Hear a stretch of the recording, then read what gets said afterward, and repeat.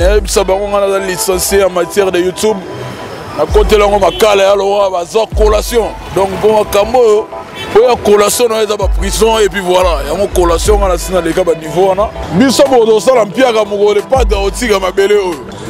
minute oyo moto aleki lepade na baclip aza te baclip na biso bongo loba biso bango basuccès bongo wana batelemela bakombo na biso pwani padre atikali kosenga pardo na mutu te mpo asala mpe mabe na mutu te donc comme kanela oloba na mundele alobaka celui qui s'excuse s'accuse ntango osengi pardon soki oza conscient kosalaki mabe alors biso tosalaki eloko te tokosenga pardon mpo na eloko nini kosala eloko na ndenge biso babantu balobaka omoni ndoki belela eloko mosusu aleka kointerpele o oh, neni baorchestre baza ebele bato kaka bazoluka baneutralise orchestre ya lepadre eza biso na bato foko mituna so mo likambo bino boza bato boyebi boyebi fleo moko ekotaki ya makasi bamizize na biso bakende kaka kote wana ozo koloba c'était dit ya quoi mpo balukaka bafaire chie motu mpona pardon totikali kosenga pardon te kulutu na biso ozoloba wana na concert na ye beti soki olandi nzembo azoyema improvisation na ye alobi chef d'orchestre na ye abengaki ye ayebisi yeke non le padre azosolola na ye bien na kamwa so chef d'orchestre na oyebisa yango après ka 13 ans 14 ans ayokaka nzembo te soki nakosi bato na ye nani oyo ye ayebi ndenge abandaki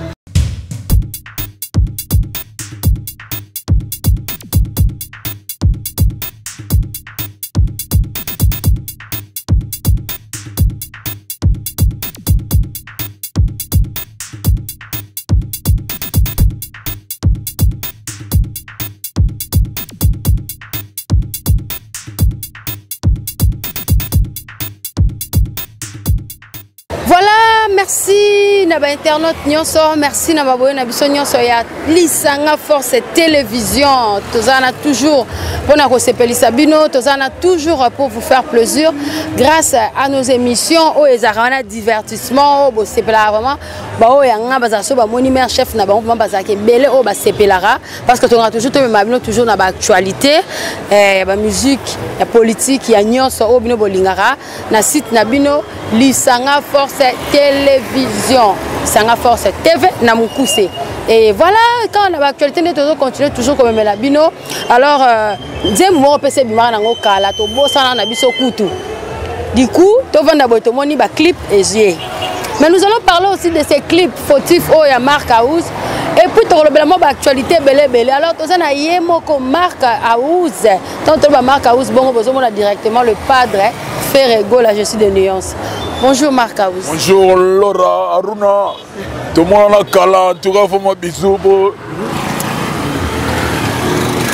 po balobi display oyo bato bagangaki loko ezomonana te na youtube akimi bagar obelani nayebisa bango ngai naza licencie ya matière de youtube nakotela yango makala ya lowa baza collation donc mpo makambo oyo oyo collation na yo eza baprison et puis voilà yango collation nga nasi naleka baniveau wana nazalaki en cachette parce que na prometaki bino trop que non bozela clip ezoya mais ma promesse était vraiment non réalisable yango raison pour laquelle omona ya moko nalobaki non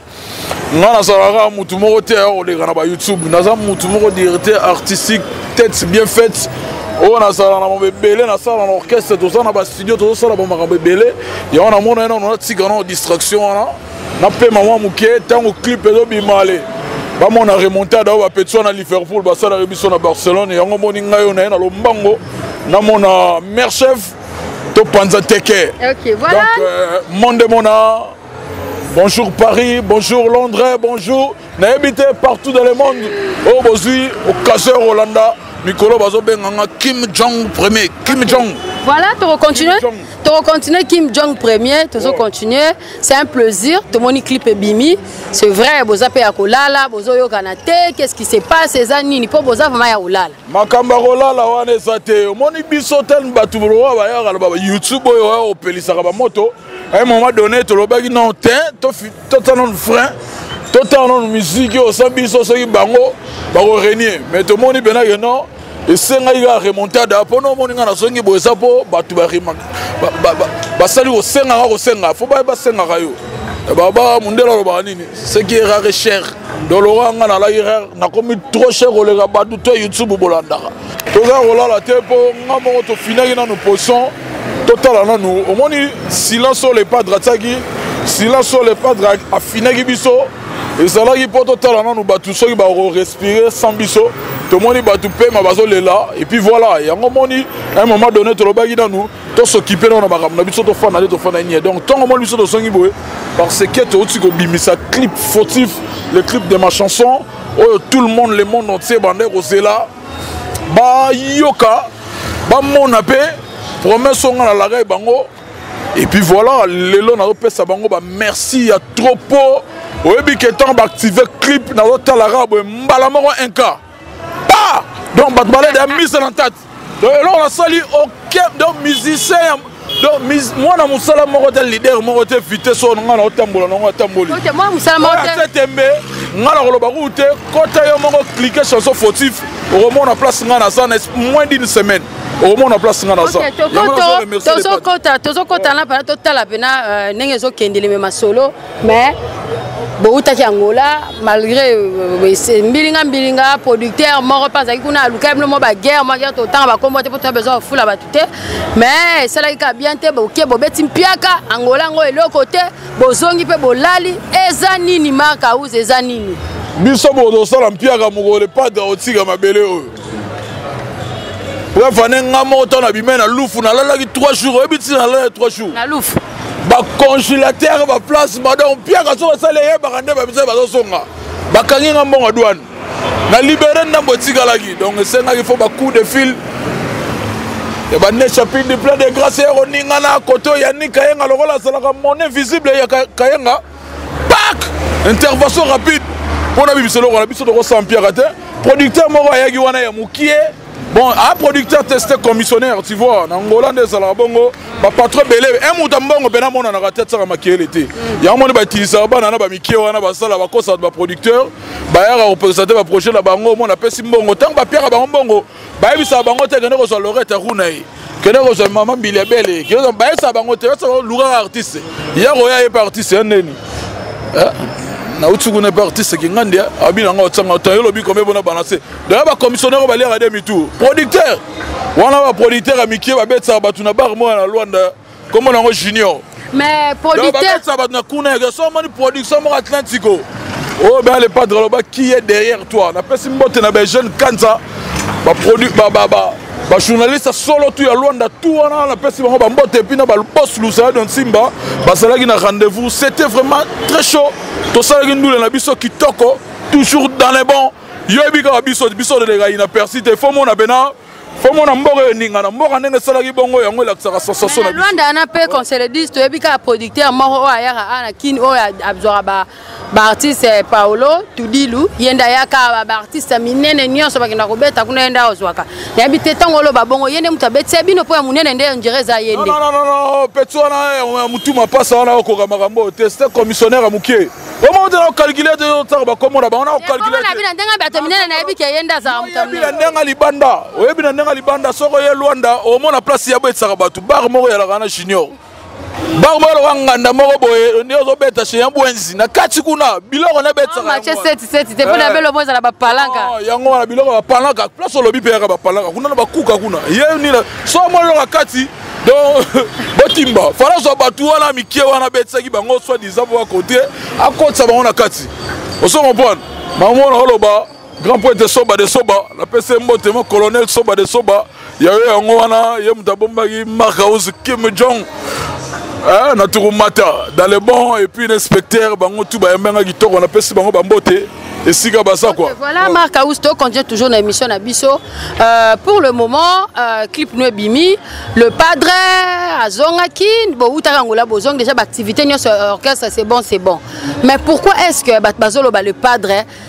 on dirait boza na tomoni na baorchestre ebele ekoma baza na mwa bato na bango moko oyo basela bango bamakambo dans le sens que euh, promotion ezozalaka makasi na baorchestre Le padre c'est vrai asalaka ba clip kitoko c'est vrai ba chanson ezalaka kitoko mais du coup la minute so muda leki le padre na ba clip aza te ba clip na biso les clip akoza kitoko mais succès pe faut biso non non ah, bongo lo biso ba succès bongo na ba telemela ba na biso po babundisa biso po lo tunaka te artiste o oh, longo place bazalaka balaka ebele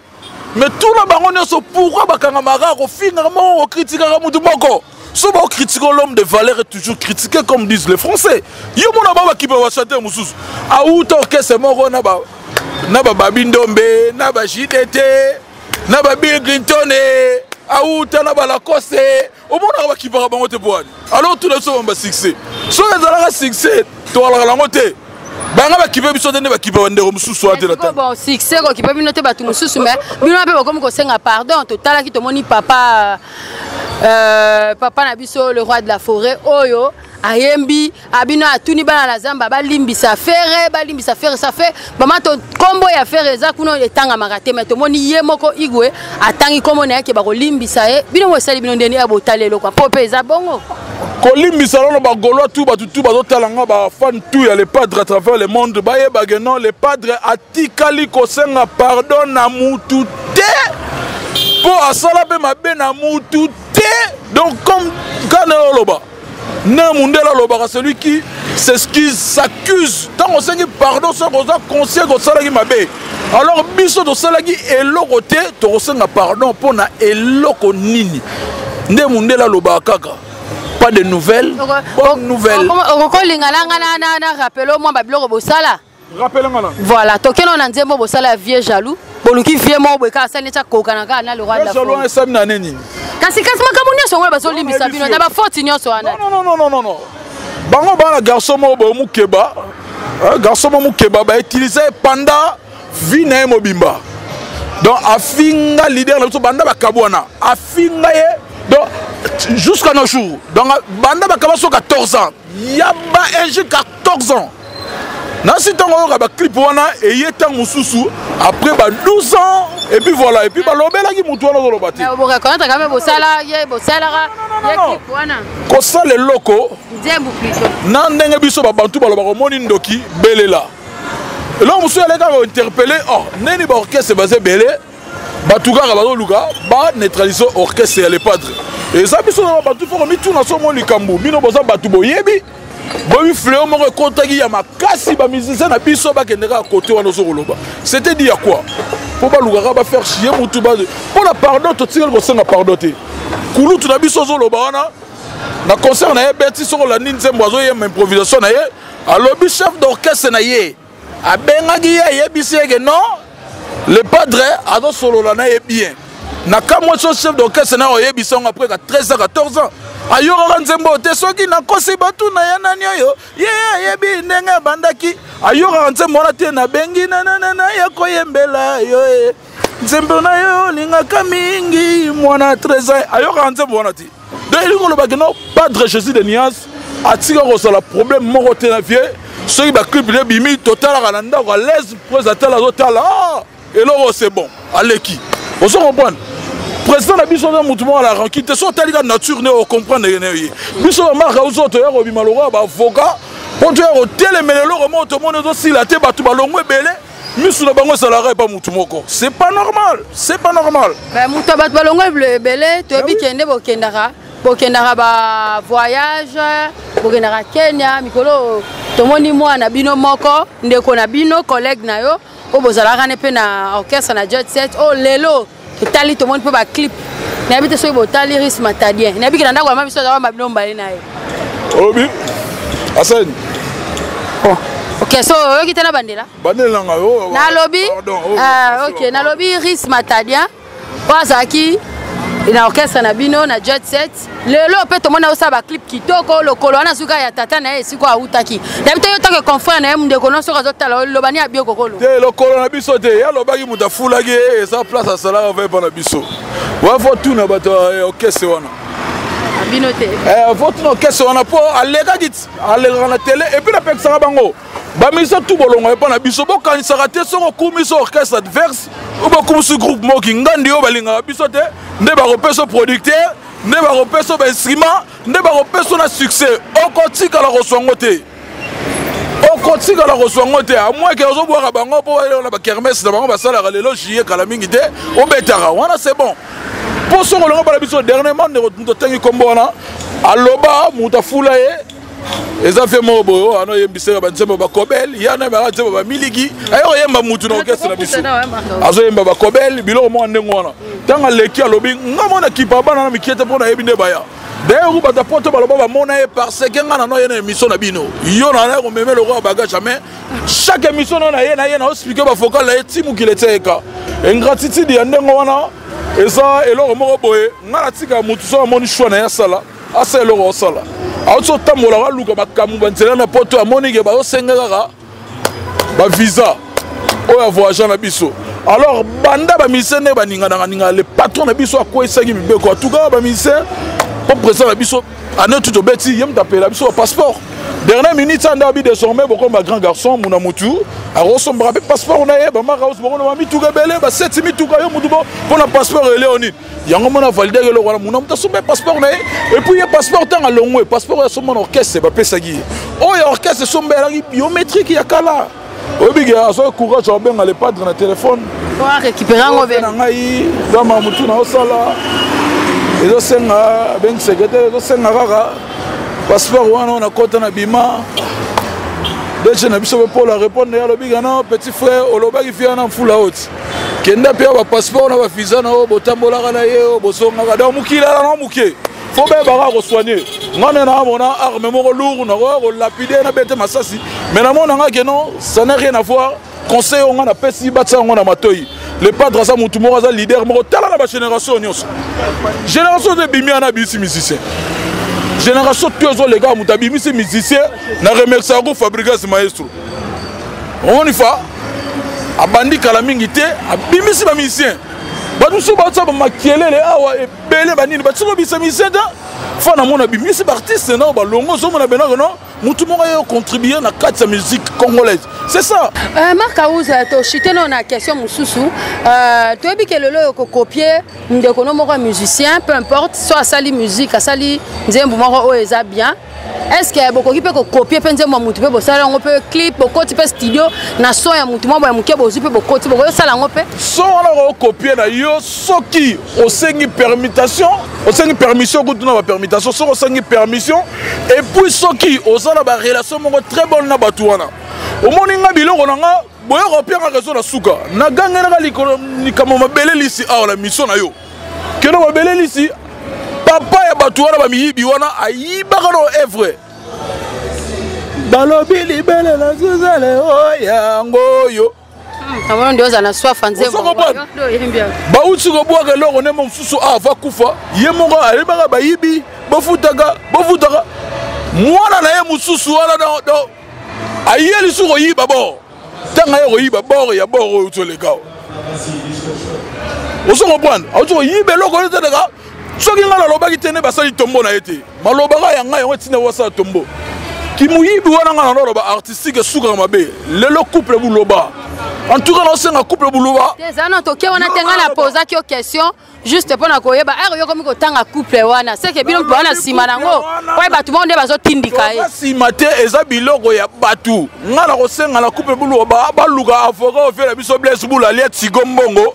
bakende koluka na lombongo mpo basanza mbongo na ye eza evre d'esprit maman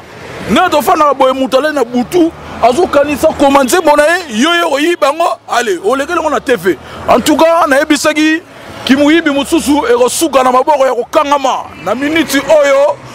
bokende kozongisa nzembo ya bato bokofuta yango mpaku na leta ndenge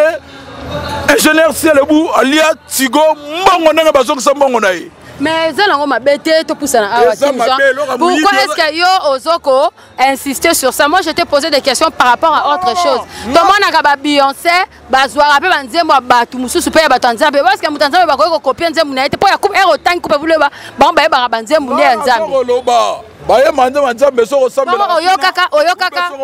nasala mwa eh, rappel ya mémoire eh, papa papa na biso wemba azwaka nzembo ya matusa mwene ngai na mati na ngomba koluka elongi na esalaka eloko soki otali ye na clip wana bato oyo batala na poto baklike clip wana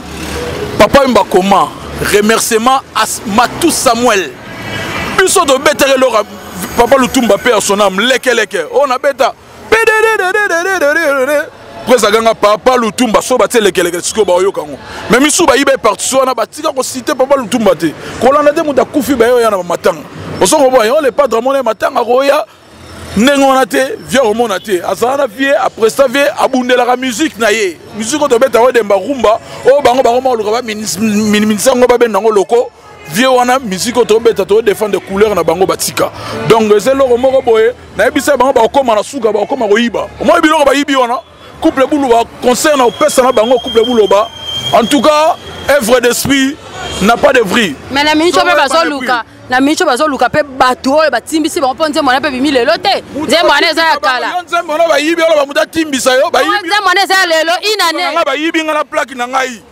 yo oya kotimbisanga une année après nde oyo après balinga batano tokanga na maboko soki mopagano akoye epa na biso mopagano aye te carrément fo bademare yo oyebi te ah, opesi bango raison napesi bango raison nanu te fo bazwa ye basaisir ye aleka na tv na moliere kote bakangaka miyibi mpo ntango odoleyaki moyibi oyo kote bakangaka moliere nde bakosela nga makambo bakangaka nga ndenge bakokanga ye na moliere asamba nzemba couple buloba asanza yango akoleka kuna voilà kim jong ya loi bauti kosinga grand prêtre moko ah, ya politike bauti kosinga ye donc mikolo ezokipe kosinga te tokomi na gouvernement mosusu bazosinga bato basingaka te basingi yo akozinga ma ma yango tozala komona nakobeta te nakokota makambo oyo te euh, marc aus euh, tokomona na biso kochute déjà vers la fin nayebi te programme ya orchestre eza no ndeni programme dalebon kani otoloba tozali na ngola toyaki tozalaka vie mbala mwa lubumbashi tobetaki na katanga concert vip tolongwaki wana tozwaki coup de fil ya grand prêtre richard moyege Euh, mokonzi oyo akangi euh, province ya lualaba tobeta na ville ya colosi concert moko yalaki na occasion ya indépendance ya basud africain toprestaki kosilisa wana tozongaki mpo grand prêtre richard moyage alingaka te keno so artiste monene ye lokola le padre lokola yalaki mpe première fois na ye ayaka série baalaka na bawenge euh, série asali orchestre ne alaki c'est la toute première fois ya yango alingaka abetisa biso bale populaire moko mpona ba bana kolwezi tout bazwa et puis to bénéficiaki artiste moko bo azoyemba très bien toyaki na kin donc euh, tozwaki tozwaki chanteur moko makasi na kolwezi yango naopekisa bato bamibenga équipe nationale équipe nationale eza teke non chanteur moko auta ngingi moko autaka bandalungwa moko auta kasao moko auti lingwala te équipe nationale fo yala lokola ke na mputu oyebika autaka katanga oyebi mpena julia ya kingandi awutaka bandundu ndenge biso toa toa na bachanteur kolozi touti kozwa omoni ekipe nationale toa na chanteur moko tozwaki na goma donc fini bango baekipe nationale biso nde ekipe nationale oyo oh, bino bosala na eza balina foot epefkini eh, kutu championnat de kinshasa donc lina foot biso tozobeta eza mpona makambo tu après tozwa bango todenisi bango ligue des champions ndenge totambolaka partout dans le monde entier quoi ok ouais. voilà euh, vraiment c'est un plaisir déjà euh, grand merci à papi le roi carte illimitée papi le roi carte illimitée bambote ebele na yo euh, quand on parle du fils on voit euh, du père on voit le fils là c'est josé ndombe showman Showman José Ndombe na peso ba mbote belé siko ozali tozo avancer na biso déjà vers la fin nayebi te eloko message nini important okokoloba na bato bakolanda yo et puis na nzembo na biso kitoko oyo tomoni clip na yango bosali na ye moko le pad euh, clip oyo en tout cas nazo remercier bato ya paris bato ya londres bato ya lausanne bato ya, ya, ya gabon libreville euh, bato ya ya burkina faso bonga naza partout bata syrie na bagdad kote batala yanga to kota barabe donc bato tu bazolanda nga na motombeli bino merci nakei oyo boyambi nzembo na nga en tout cas le padre apesi nga confiance mingi na travers bolingo bolakisa mfere nga nakoloba bavi nakomi nango te kota yo moko klike tala okomprendre ke no marka uzaoyibia mpo ntango akota klike compte te naloba mpo na tembe omoni ngai naboye nakopesa chiffre te mpo baloba marka usaloba mpo baverifie ata bakliki ekonte bayoka utu conseil nzembo na ngai eza te bamba ngai ya kolia nga mbango bamba nga biloko ya ndenge wana nzembo bongo okotala yango na famille no te na basi na bana oza kobana nzembo na ngai okotala yango famille mwasi afandi na bana na toute la famille vous regardez ma clip fautif ah markauge markauge damba kim jong bato bazotala nga eya nzembo moko te soamoni bana ele vokatana na jambe banzembo mosusu batiango ele les enfants dans la chambre boyolonga bo mpo oyebi ke eya na biloko moko oyoka bambanga ya kolianga mbanga biloko taba biloko banzembo baotisela bino ngai nalobaki nzembo wana ye lokwa encre correcteur eye kocorge baerreur oyo bazosala bazobomela biso miziki oyo bamasa na biso bakombata bavie na biso basilikaka tosoko aporte rien kaka babetise na matoi biloko bambanga lianga mbanga biloko mwa ndenge wana nzembo tse bonga lolekeli bato artiste abandi kosala bafiere donc fo kozwaka temps ya koyokaka omoni biso toa baartiste toyokaka baremarque bareproche basalaka ntango euh. bapekisaki epuis biso tozonga barmola tout esila donc fo garde bongo bato baconsomme fautive massivement na remercie bino ngai oyo mark aus bolingaka kim jong de retour nasili kozonga la guerre sera longue et populaire eloba musele père donc liloba moko oyo basanza yango te tokobagare na bango ntina suka bato tu balandi ngai nasi bazwi baprécision le padre asengi pardon te mpo asala eloko te akosenga motu pardon ve na biso ntango mosusu atalaki image ya ve moko boye azwaki bamusicien na to atie soki alingi asangisa biso bongo aluka baproducteur baye tokotisi mbongo tokotelema na biso tobeti tozala na problème na ye te aza vie na biso ozo comprendre aza mpe na biso soki aye na ndenge ya normalité makambo tu bakosala polémique oyo bazosala ye koma boye epuis journaliste moko nayoki asali ngai mission epa contredire makambo ngai naoloba en tout cas journaliste efo créaka sujet na yo oyo ngai nalobaki mpo naloba ye motu moko asengai pardon asilaki journaliste moko alekeli ngai na tv abinga naloba na fabrigas fabrigas ngai na artiste oyo ngai na felicitake makasi abimi ya ye na nsima na bango basali bamusicien parmi bato oyo bazogangaka awa soki baking kester so baking nani batikala osala musicien te na congo ye aose asali baartiste na ye epuis voilà tu vois nga nakumisaka motu azobunda asali na remexaka héritier watanabe aye orchestre esika makotisa bango avion bagenda poto baye misusu bakebe te c'est ça motu aza na mouvement aza apte ozo comprendre nga na remexaka bato bazobimisa bamusicien tosala album 31 nzembo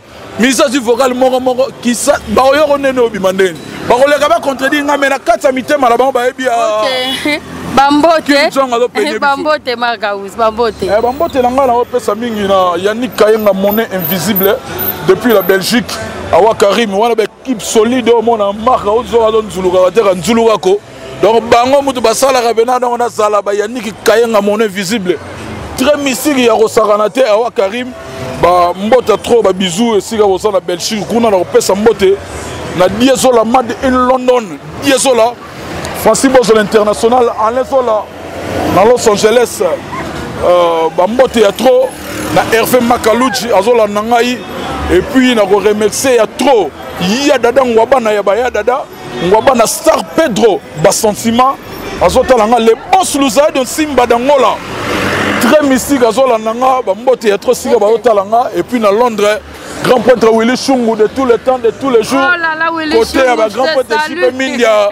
eh, yo bato nango diembelaka bango ba misu na willy shungu ah, willy shungu eza kutu nga nde motu napesi ye numero no mpo abenga yo soki oma bakinga na kombo diembela napesi numero no mpo babenga mpa willy shungu roger mofuta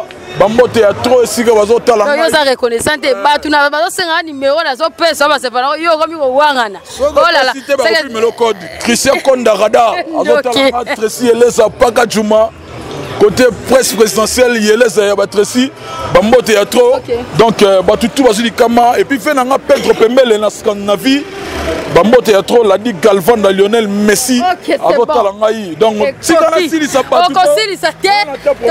okosilisa bato te voilà grand merci à willy shungu na bande ye lisusu autoroute aime bidosha na bato tout oyo bolingaka lisanga force tv à papi le roi carte illimité formule ya suka bilanga hero Euh, José Ndombe Showman, Nabosani Yote, de gros bisous à toi. Nabatuto Bolanda Lisanga Force, c'est un plaisir de recevoir pour vous Marc House. Boyoki Oyalo, Boyoki Oyalobi, Naba réponse, Naba question, Zaki, Naba réponse, Zaki. Alors, on se retrouve tout prochainement avec un nouveau numéro. Au revoir, bye bye.